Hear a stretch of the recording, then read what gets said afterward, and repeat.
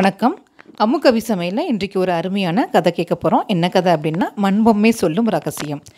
ஒரு ராஜா இருந்தார். அந்த ராஜாவை பார்க்க ஒரு சிற்பி வர்றாரு. அந்த சிற்பி அவரோட கையில் வந்து ஒரு நாலு களிமண்ணால் பொம்மையை வந்து கொண்டு வந்து ராஜாட்ட கொடுக்குறாரு.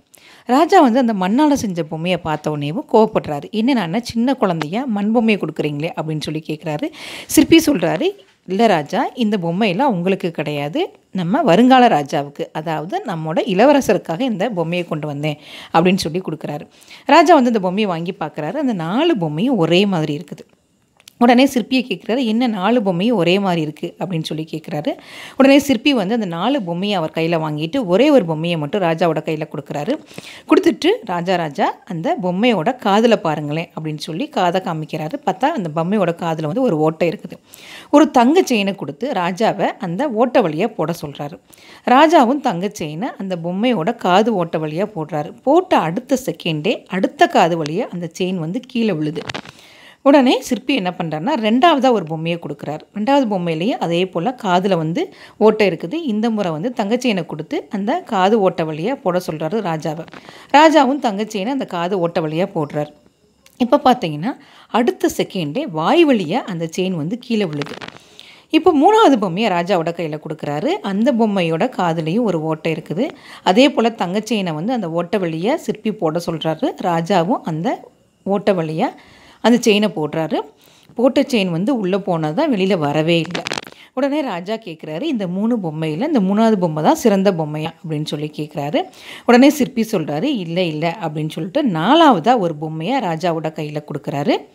ராஜாவும் அந்த பொம்மையை வாங்குறாரு. அந்த பொம்மையோட காதுலேயும் ஒரு ஓட்டை இருக்குது. இப்போ சிற்பி வந்து மறுபடியும் ஒரு தங்க செயினை தர்றாரு. அந்த நாலாவது பொம்மையோட காதில் போட சொல்கிறாரு ராஜாவும் காதில் போடுறாரு. போட்ட அடுத்த செகண்டே மறுப அடுத்த காது வழியாக அந்த தங்கச்செயின் வந்து கீழே விழுது. இப்போ என்ன பண்ணுறாருனா அந்த நாலாவது பொம்மையோட காதில் திருப்பி ரெண்டாவது முறையாக அந்த செயினை போட சொல்கிறாரு இப்போ ரெண்டாவது முறையாக அந்த ஓட்ட வழியாக தங்க செயினை போடுறாரு இந்த முறை வந்து வாய் வழியாக அந்த தங்க செயின் கீழே விழுது. அடுத்து மூணாவது முறையாக அந்த ஓட்ட வழியாக தங்க செயினை போட சொல்கிறாரு மூணாவது முறையாக தங்க செயினை ராஜா போடுறாரு. இப்போ உள்ளே போன செயின் வெளியில் வரவே இல்லை. உடனே ராஜா வந்து ஆச்சரியமாக பார்த்து கேட்குறாரு என்ன சொல்ல வர்றீங்க? அப்படின்னு சொல்லிட்டு உடனே சிற்பி சொல்கிறாரு நம்ம வாழ்க்கையில் நிறைய மனிதர்களை வந்து சந்திக்கிறோம். ஆனால் நம்பகமான மனிதர்கள் யார்? அப்படின்னு சொல்லி நமக்கு தெரியாது. இப்போ முதல் பொம்மை மாதிரி சில பேர் இருப்பாங்க. அதாவது நம்ம ஏதாவது ஒரு விஷயம் சொன்னோம்னா இந்த காதில் வாங்கி அந்த காதில் விட்டுருவாங்க. ஒரு சில மனிதர்கள் என்ன தெரியுமா பண்ணுவாங்க? நம்ம ஏதாவது ஒரு விஷயம் சொன்னோம்னா அந்த விஷயத்தை உடனே அடுத்த செகண்டே எல்லாருக்கும் அந்த விஷயத்த சொல்லிடுவாங்க அதாவது ரெண்டாவது பொம்மை மாதிரி அப்படின்னு சொல்கிறாரு அடுத்து ஒரு சில மனிதர்கள் வந்து நம்ம எந்த விஷயத்த சொன்னாலும் உள்வாங்கிக்குவாங்க வெளியில் சொல்லவே மாட்டாங்க. அதாவது மூணாவது பொம்மை மாதிரி அப்படின்னு சொல்கிறார் அப்போ நாலாவது பொம்மை எப்படி அப்படின்னு சொல்லி கேட்குறாரு உடனே நாலாவது பொம்மை மாதிரி ஒரு சில மனிதர்கள் இருப்பாங்க. அதாவது ஒரு விஷயத்தை அவங்க எப்போ கேட்கணுமோ அப்போ கேட்டுப்பாங்க. எப்போ வந்து அந்த விஷயத்தை வெளியில் சொல்லணுமோ அந்த சமயம் மட்டும்தான் அந்த விஷயத்தை வெளியில் சொல்லுவாங்க. எந்த விஷயத்தை உள்வாங்கிக்கணுமோ அந்த விஷயத்தை உள்வாங்கிக்கிட்டு அதை வெளியில் சொல்ல மாட்டாங்க. அந்த மர அந்த மாதிரி மனிதர்கள் தான் நம்பகமான மனிதர்கள். நம்ம இளவரசரும் வருங்காலத்தில் இந்த மாதிரி தான் வர வேண்டும்.